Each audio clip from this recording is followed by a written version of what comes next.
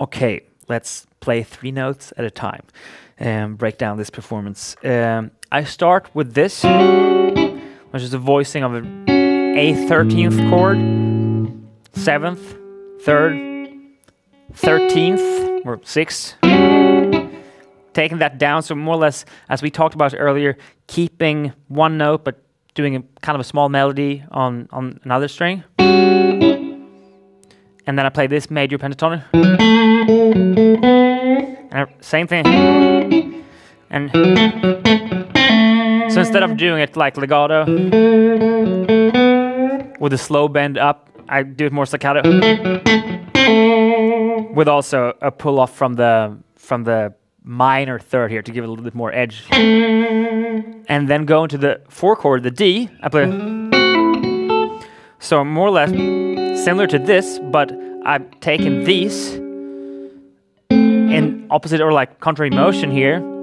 This one goes down from the third to the seventh, and this one goes up from the seventh to the fifth. And I'm adding the fifth on top. And then,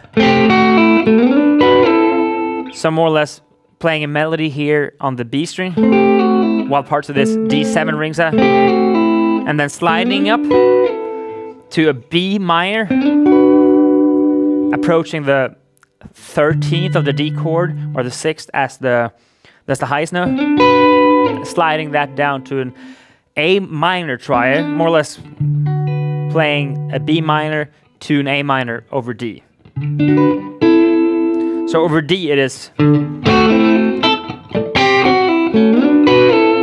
And then we're back to A, and I play this more single note line.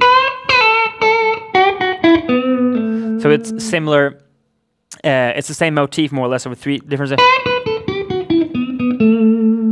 And then I play.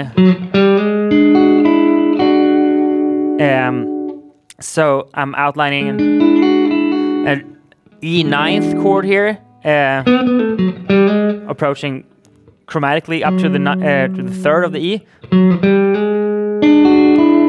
Again, the same melody more or less as I did over the A 13th and the D 7th, D9 that I do here.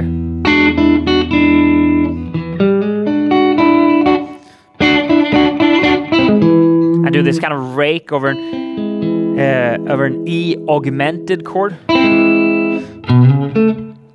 So um, little bit extended melody going from just changing this to changing both. Going in, uh, approaching the third and the root of the A, and then I do a motif that I slide up more or less then third going to fifth of A, sixth going to root, and then repeating both of those an octave up.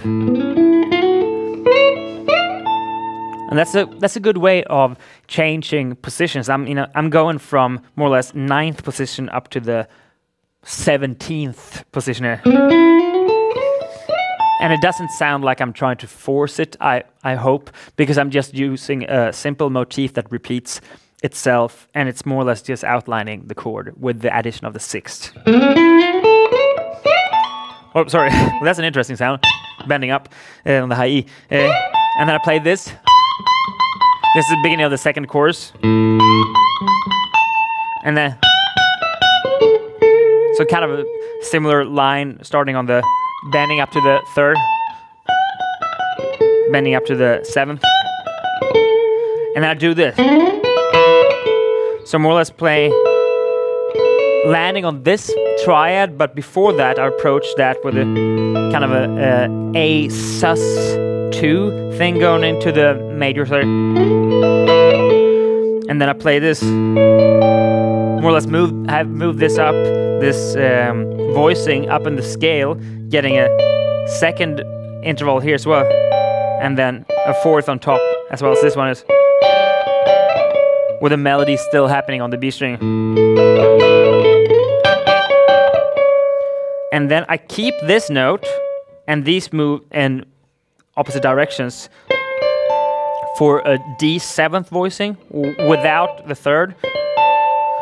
and then I add this as well, and this is a kind of very dissonant voicing as well. The the second interval you get here, major second, and then you get a major seventh here as well. But it still sounds very cool, I think, over this very colorful with this 13th on top. Uh, and I play that kind of staccato so it won't be too too weird and let that ring for too long. I let this ring out and then get some stabs there, staccato style, and then I land. Bring this um, little bit of contrary motion there again. We'll talk more about that soon. Uh,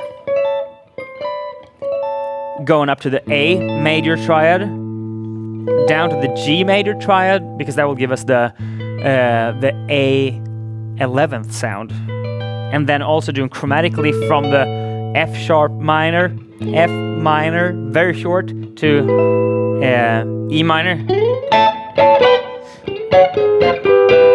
and then we're going to the E seventh chord.